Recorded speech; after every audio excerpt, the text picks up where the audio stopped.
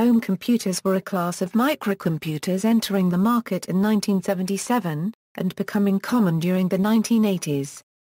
They were marketed to consumers as affordable and accessible computers that, for the first time, were intended for the use of a single non-technical user. These computers were a distinct market segment that typically cost much less than business, scientific or engineering-oriented computers of the time such as the IBM PC and were generally less powerful in terms of memory and expandability. However, a home computer often had better graphics and sound than contemporary business computers. Their most common use was playing video games. Home computers were usually not electronic kits, since the home computer was sold already manufactured. There were, however, commercial kits like the Sinclair ZX80 which were both home and home-built computers since the purchaser could assemble the unit from a kit.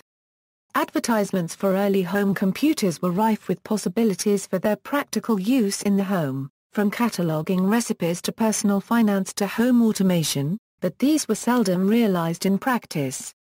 For example, Using a typical 1980s home computer as a home automation appliance would require the computer to be kept powered on at all times and dedicated to this task. Personal finance and database use required tedious data entry. By contrast, advertisements in the specialty computer press often simply listed specifications. If no packaged software was available for a particular application, the home computer user was required to learn computer programming a significant time commitment many new computer owners weren't willing to make. Still, for others the home computer offered the first opportunity to learn to program.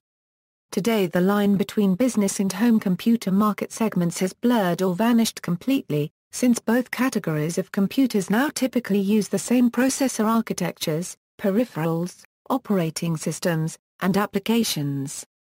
Often the only difference may be the sales outlet through which they are purchased. Another change from the home computer era is that the once common endeavor of writing one's own software programs has almost vanished from home computer use. Background As early as 1965, some experimental projects such as Jim Sutherland's Echo 4 explored the possible utility of a computer in the home. In 1969, the Honeywell kitchen computer was marketed as a luxury gift item, and would have inaugurated the era of home computing, but none were sold. Computers became affordable for the general public in the 1970s due to the mass production of the microprocessor starting in 1971.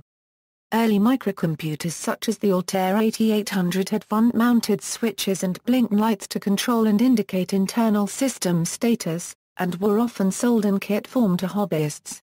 These kits would contain an empty printed circuit board which the buyer would fill with the integrated circuits, other individual electronic components, wires and connectors, and then hand solder all the connections. While two early home computers could be bought either in kit form or assembled, most home computers were only sold pre-assembled. They were enclosed in plastic or metal cases similar in appearance to typewriter or hi-fi equipment enclosures, which were more familiar and attractive to consumers than the industrial metal card cage enclosures used by the Altair and similar computers. The keyboard, a feature lacking on the Altair, was usually built into the same case as the motherboard. Ports for plug-in peripheral devices such as a video display, cassette tape recorders, joysticks, and disk drives either were built-in or available on expansion cards. Although the Apple II series had internal expansion slots, most other home computer models' expansion arrangements were through externally accessible expansion ports that also served as a place to plug in cartridge-based games. Usually the manufacturer would sell peripheral devices designed to be compatible with their computers as extra cost accessories. Peripherals were not often interchangeable between different brands of home computer, or even between successive models of the same brand. To save the cost of a dedicated monitor, the home computer often would connect through an RF modulator to the family TV set, which served as both video display and sound system. After the success of the Radio Shack TRS-80, the Commodore PET and the Apple II in 1977, almost every manufacturer of consumer electronics rushed to introduce a home computer. Large numbers of new machines of all types began to appear during the late 1970s and early 1980s. Mattel, Coleco, Texas Instruments and Timex, none of which had any previous connection to the computer industry, all had short-lived home computer lines in the early 1980s. Some home computers were more successful a Euro the BBC Micro, Sinclair ZX Spectrum, Atari 800XL and Commodore 64, sold many units over several years and attracted third-party software development. By 1982, an estimated 621,000 home computers were in use in the United States, at an average sales price of $530. Almost universally, home computers had a basic interpreter combined with a line editor and permanent read-only memory which one could use to type in basic programs and execute them immediately or save them to tape or disk. In direct mode, the basic interpreter was also used as the user interface, and given tasks such as loading, saving, managing, and running files. One exception was the Jupiter Ace, which had a Forth interpreter instead of BASIC. A built-in programming language was seen as a requirement for any computer of the era, and was the main feature setting home computers apart from video game consoles. Still, home computers competed in the same market as the consoles. A home computer was often seen as simply as a higher-end purchase than a console, adding abilities to what would still be mainly a gaming device. A common marketing tactic was to show a computer system and console playing games side by side, then emphasizing the computer's greater ability by showing it running user-created programs, education software, word processing, spreadsheet and other applications while the game console showed a blank screen or continued playing the same repetitive game. Some game consoles offered programming packs consisting of a version of BASIC in a ROM cartridge. Atari's basic programming for the Atari 2600 was one of these. For the ColecoVision console, Coleco even announced an expansion module which would convert it into a full-fledged computer system. This never materialized, but a stand-alone computer, the Coleco Adam was eventually released. The Magnavox Odyssey A-squared game console had a built-in keyboard to support its C7420 home computer module.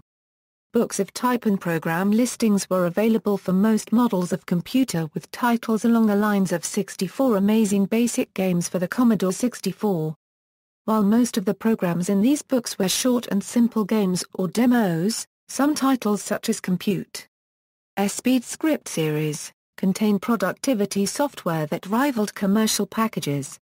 To avoid the tedious process of typing in a program listing from a book, these books would sometimes include a mail-in offer from the author to obtain the programs on disc or cassette for a few dollars. Before the Internet, and before most computer owners had a modem, books were a popular and low-cost means of software distribution. They also served a role in familiarizing new computer owners with the concepts of programming. Some titles added suggested modifications to the program listings for the user to carry out modifying software to be compatible with one's system or writing a utility program to fit one's needs was a skill every advanced computer owner was expected to have. During the peak years of the home computer market, scores of models were produced, usually with little or no thought given to compatibility between different manufacturers or even within product lines of the same manufacturer. Except for the Japanese MSX standard, the concept of a computer platform was still forming, with most companies considering basic compatibility sufficient. Things were different in the business world, where cost-conscious small business owners had been using CP/M running on Z80-based computers from Osborne, Kaypro, Morrow Designs and a host of other manufacturers. For many of these businesses, the development of the microcomputer is what made computer systems affordable where they had not been before. Introduced in August 1981, the IBM personal computer would eventually become the standard platform used in business, due to the IBM name and the system's open architecture, which encouraged production of third-party clones. The 6502-based Apple II series had carved out a niche for itself in business, thanks to the industry's first killer app, the VisiCalc, released in 1979. However the Apple II would quickly be displaced for office use by IBM PC compatibles running Lotus 1-2-3. Apple Computer's 1984 release of the Apple Macintosh introduced the modern GUI to the market, which IBM-compatible computers would eventually adopt. Throughout the 1980s, PCs became popular with businesses, leading, by the end of the decade, to sub-$1,000 IBM PC XT class white box machines, usually built in Asia and sold by U.S. companies like PCs Limited. In 1980 Wayne Green, the publisher of Kilobaud Microcomputing, recommended that companies avoid the term home computer in their advertising as I feel is self-limiting for sales. I prefer the term microcomputers since it doesn't limit the uses of the equipment in the imagination of the prospective customers. By the mid-1980s most computer companies are Euro even those with a majority of sales to home users are Euro avoided the term home computer, because of its association with the image of, as compute. Wrote, a low-powered, low-end machine primarily suited for playing games. Apple's John Sculley, for example, denied that his company sold home computers. Rather, he said, Apple sold computers for use in the home. In 1990 the company reportedly refused to support joysticks on its low-cost Macintosh LC and ISI computers to prevent customers from considering them as game machines. Price wars drove the consumer electronics companies from the market, as they could no longer sustain development of what had become, for them, money-losing projects.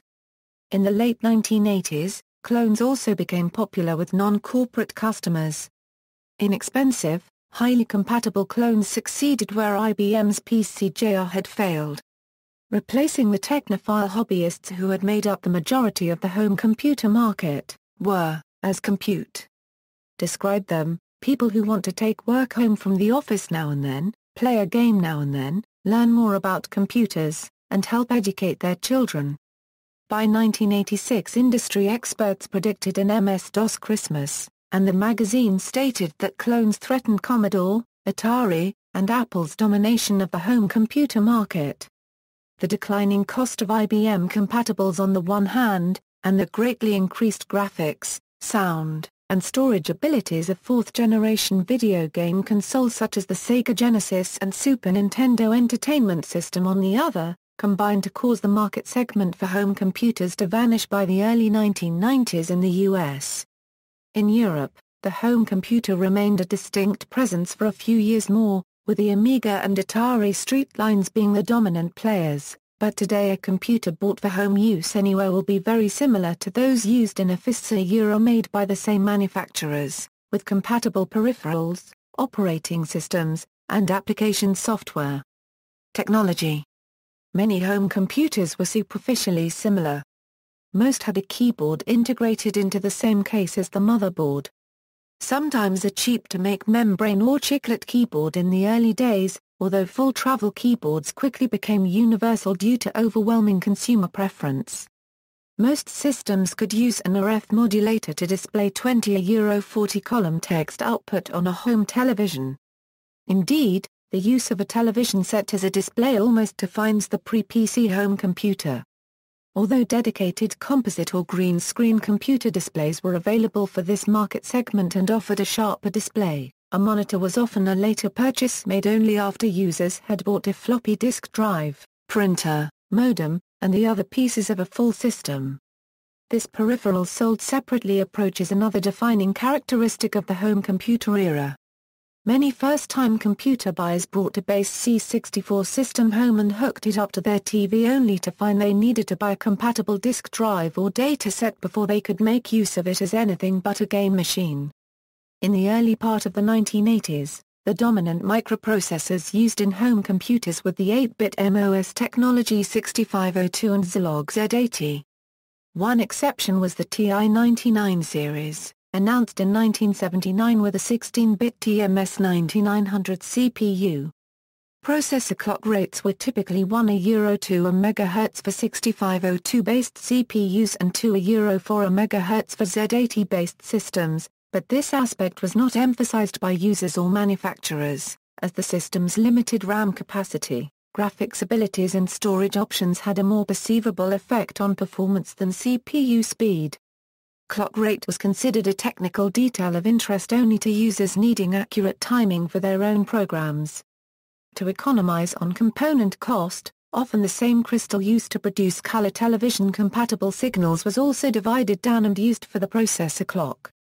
This meant processors rarely operated at their full rated speed, and had the side effect that European and North American versions of the same home computer operated at slightly different speeds and different video resolution due to different television standards. Initially, many home computers used the then ubiquitous compact audio cassette as a storage mechanism. A rough analogy to how this worked would be to place a recorder on the phone line as a file was uploaded by modem to save it, and playing the recording back through the modem to load. Most cassette implementations were notoriously slow and unreliable, but early 5.25 inches form factor drives were priced for business use, out of reach of most home buyers. Eventually mass production of 5.25 inches drives resulted in lower prices, and after about 1984 cassette drives were phased out of the U.S. home computer market 5.25 floppy disk drives would remain standard until the end of the 8-bit era. Though external 3.5 inches drives were made available for home computer systems toward the latter part of the 1980s, almost all software sold for 8-bit home computers remained on 5.25 disks. 3.5 inches drives were used for data storage. Standardization of disk formats was not common. Sometimes even different models from the same manufacturer used different disk formats. Toward the end of the home computer era, drives for a number of home computer models appeared offering disk format compatibility with the IBM PC. The disk drives sold with the Commodore 128, Amiga and Atari ST were all able to read and write PC disks, which themselves were undergoing the transition from 5.25 inches to 3.5 format at the time. Hard drives were never popular on home computers, remaining an expensive, niche product mainly for BBS hobbyists and the few business users. Various copy protection schemes were developed for floppy disks. Most were broken in short order. Many users would only tolerate copy protection for games, as wear and tear on disks was a significant issue in an entirely floppy-based system. The ability to make a working backup disk of vital application software was seen as important.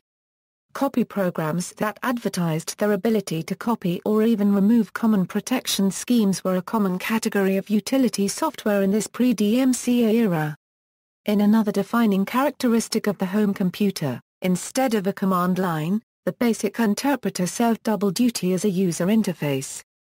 Coupled to a character-based screen or line editor, BASIC's file management commands could be entered in direct mode. In contrast to modern computers, home computers most often had their operating systems stored in ROM chips. This made startup times very fast a euro no more than a few seconds a euro, but made OS upgrades difficult or impossible without buying a new unit. Usually only the most severe bugs were fixed by issuing new ROMs to replace the old ones at the user's cost.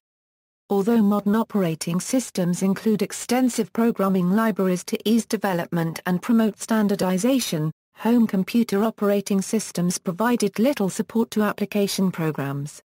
However, professionally written software often switched out the ROM-based OS anyway to free the address space it occupied and maximize RAM capacity. This gave the program full control of the hardware and allowed the programmer to optimize performance for a specific task. As multitasking was never common on home computers, this practice went largely unnoticed by users. Most software even lacked an exit command, requiring a reboot to use the system for something else. In an enduring reflection of their early cassette-oriented nature, most home computers loaded their disk operating systems separately from the main OS. The DOS was only used for disk and file-related commands and was not required to perform other computing functions.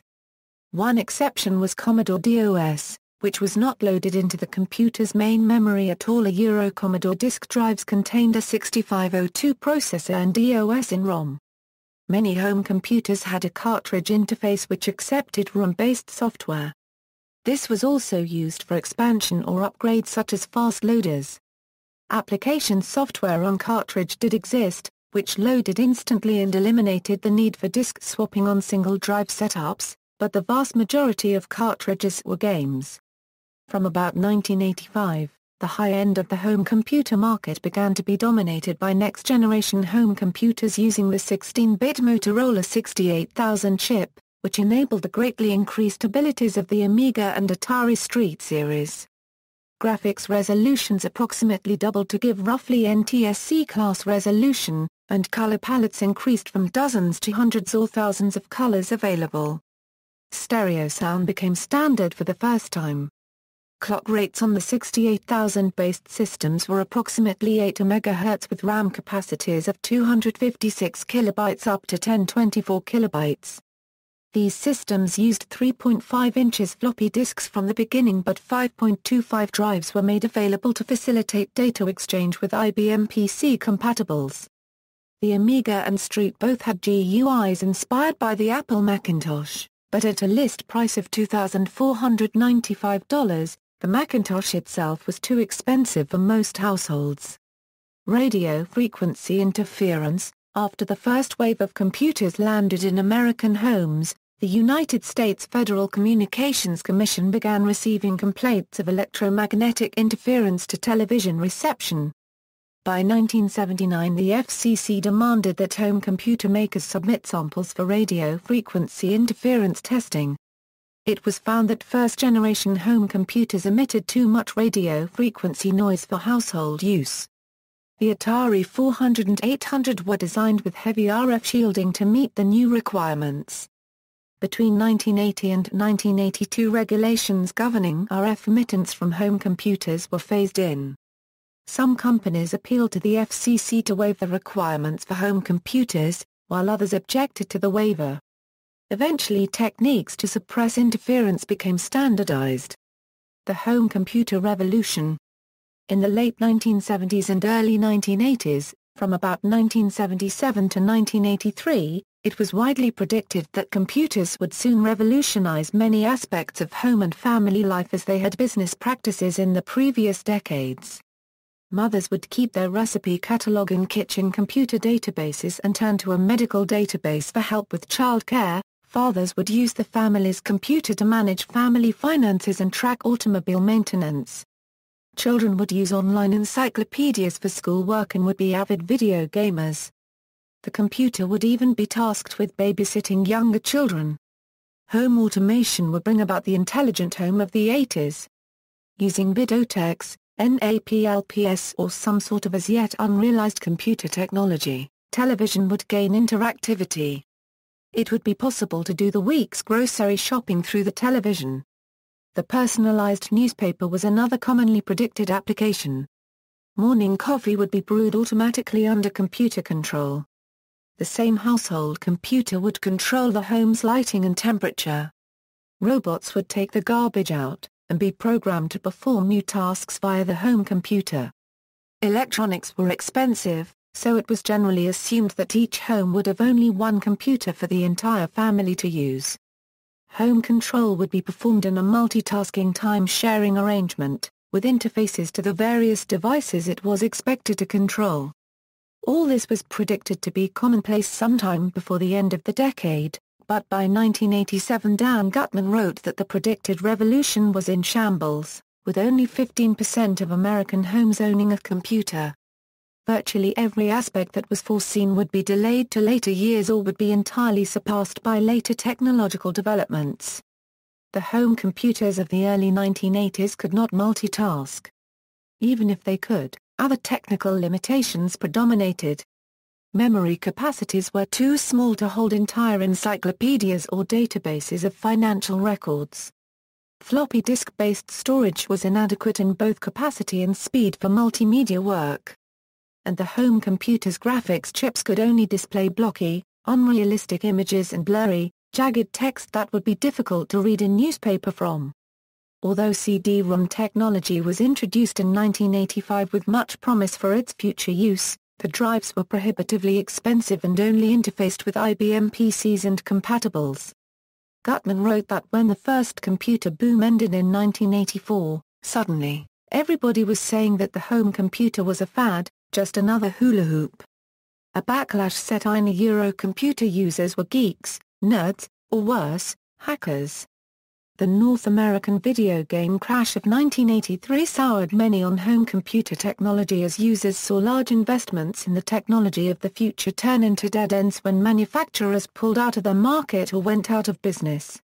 The computers that were bought for use in the family room were either forgotten in closets or relegated to basements and children's bedrooms to be used exclusively for games and the occasional book report. Home computers of the 1980s have been called a technology in search of a use. A 1985 study found that, during a typical week, 40% of adult computer owners did not use their computers at all. Usage rates among children were higher, with households reporting that only 16 to 20% of children aged 6 a Euro 17 did not use the computer during a typical week.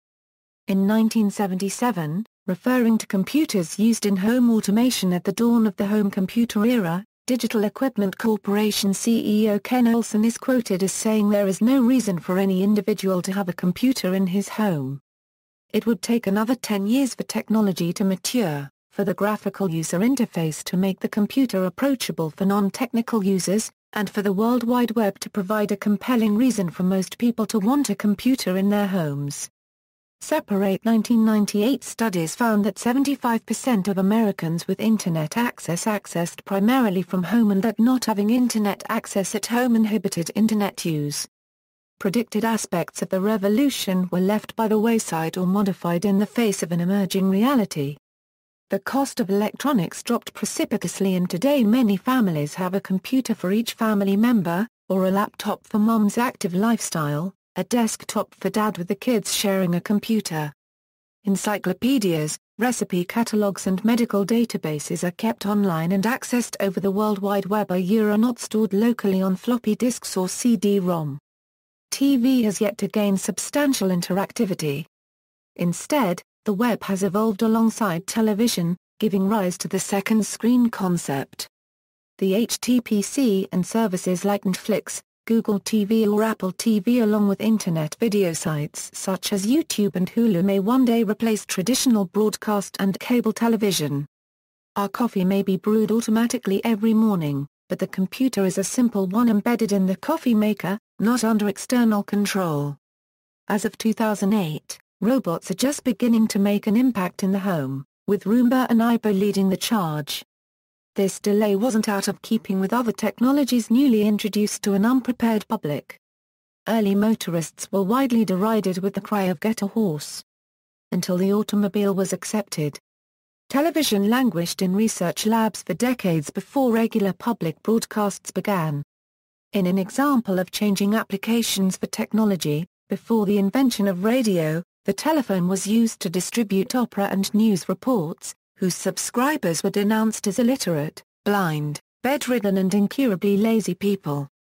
Likewise, the acceptance of computers into daily life today is a product of continuing refinement of both technology and perception. Use in the 21st century, as older computer hardware ages and the supply of replacement parts dwindles, it has become popular among enthusiasts to emulate these machines, recreating their environments on modern hardware. One of the more well-known emulators is the Multi-Emulator Super System which can emulate most of the better-known home computers. A more or less complete list of home computer emulators can be found in the List of Computer System Emulators article. Games for many 8 and 16-bit home computers are becoming available for the Wii Virtual Console.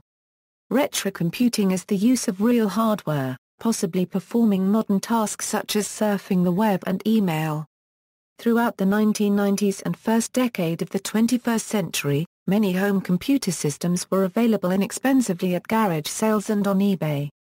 Many enthusiasts have started to collect home computers, with older and rarer systems being much sought after. Sometimes the collections turn into a virtual museum presented on websites. The Commodore 64 has been repackaged as the C1 and C64 Direct-to-TV, both designed by Jeri Ellsworth with modern enhancements. Notable home computers The timeline below describes many of the most popular or significant home computers of the late 1970s and of the 1980s. The most popular home computers in the USA up to 1985 were, the TRS-80, various models of the Apple II family, the Atari 400-800 along with its follow-up models the 800XL and 130XE, and the Commodore VIC-20 and the Commodore 64.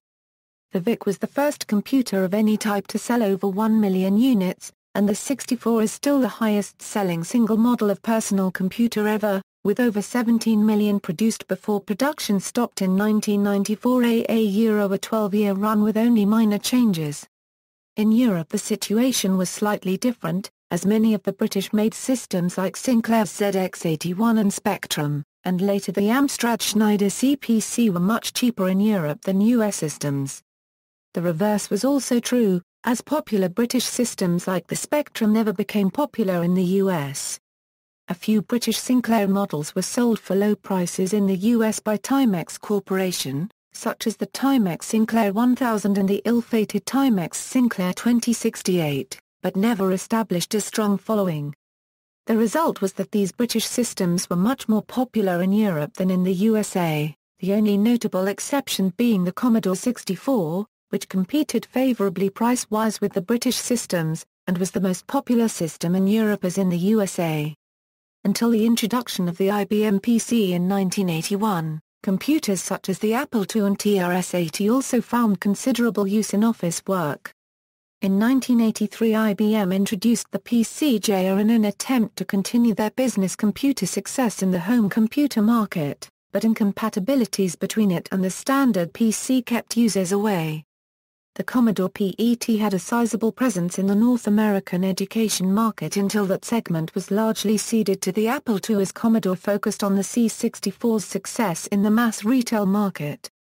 1970s, three microcomputers were the prototypes for what would later become the home computer market segment. But when introduced they sold as much to hobbyists and small businesses as to the home. June 1977, Apple II, Color Graphics, 8 expansion slots. One of the first computers to use a typewriter-like plastic case design. August 1977, Tandy Radio Shack TRS-80, first home computer for less than 600 US dollars, used a dedicated monitor for U.S. Federal Communications Commission rules compliance. October 1977, Commodore PET, first all-in-one computer, keyboard tape storage built into stamped sheet metal enclosure. The following computers also introduced significant advancements to the home computer segment, 1979 TI-99 April, first home computer with a 16-bit processor and first to add sprite graphics. 1979, Atari 400-800, first computer with custom chipset and programmable video chip and built-in audio output. 1980s, 1980, Commodore VIC-20, under 300 US dollars. First computer of any kind to pass 1 million sold. 1980, TRS-80 color computer, Motorola 6809, optional OS9 multi-user multitasking. June 1981, Texas Instruments TI-99 Quarters A, based on the less successful TI-99 Quarters. 1981, Sinclair ZX81, a £49 and 95 pennies in kit form. A £69.95 pennies pre-built, released as Timex Sinclair 1000 in US in 1982. 1981, BBC Micro, premier educational computer in the UK for a decade. Advanced BBC Basic with integrated 6502 machine code assembler, featured a myriad of I.O. ports, 1.5 million sold. April 1982, Sinclair ZX Spectrum, best-selling British home computer. Catalyzed the UK software industry, widely cloned by the Soviet Union. June 1982, Microbee, initially as a kit, then as a finished unit. August 1982, Dragon 32 became, for a short time, the best-selling home micro in the United Kingdom. August 1982, Commodore 64, custom graphic and synthesizer chipset, best-selling computer model of all time, 17 million sold. January 1983, Apple II, Apple II Enhanced. Reduced component count and production costs enabled high-volume production, until 1993. 1983, Acorn Electron a stripped-down sibling of the BBC microcomputer with limited functionality. The Electron recovered from a slow start to become one of the more popular home computers of that era in the UK. 1983, Coleco Adam, one of the few home computers to be sold only as a complete system with storage device and printer. Cousin to the ColecoVision game console. One of the first systems to be orphaned by its maker, a casualty of the North American video game crash of 1983. 1983, MSX, a computer reference designed by ASCII and Microsoft, produced by several companies, 5 million sold. 1983, VTech Laser 200, entry-level computer aimed at being the cheapest on market, also sold as Salora Fellow, Texet Texas, 8000 and Dick Smith VZ200. 1983, Oric 1 and Oric Atmos, a home computer equipped with a full travel keyboard and an extended version of Microsoft Basic and ROM.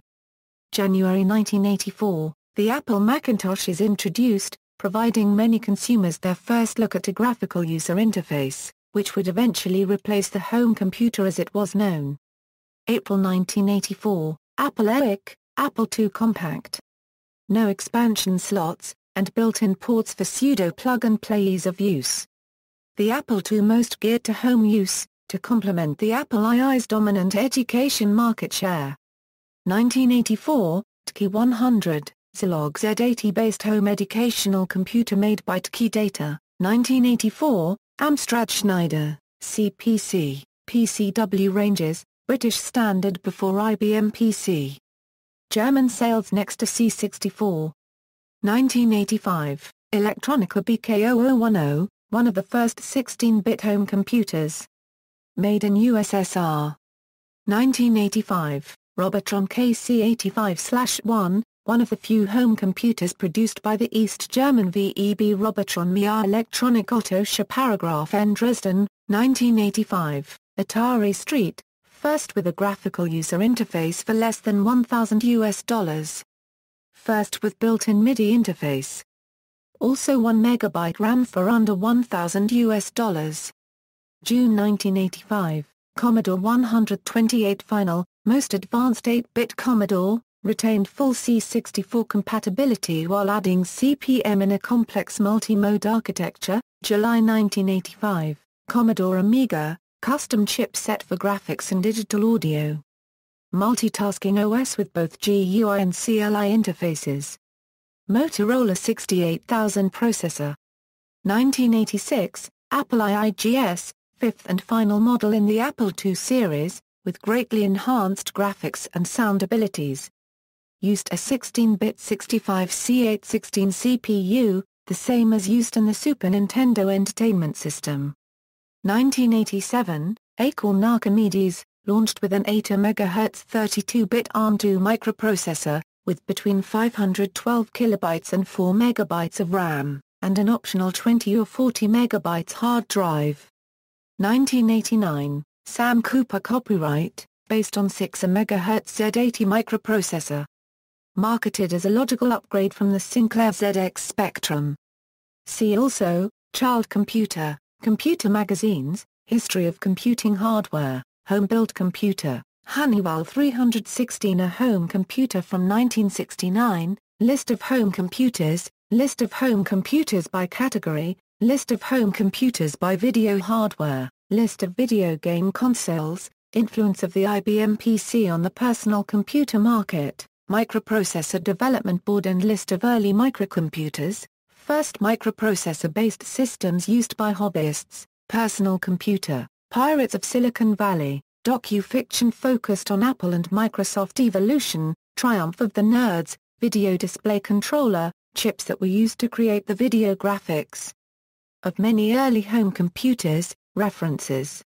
External links, Runes PC Museum, home of the home computer, collection of old analog and digital computers at Old Computer Museum, Computer History Museum Euro an online museum of home computing and gaming, HCM, Home Computer Museum, total share, 30 years of personal computer market share figures AA Euro from Ars Technica, article on computing in the 1980s, Google Books link to A History of the Personal Computer, The People and the Technology by Roy A. Allan.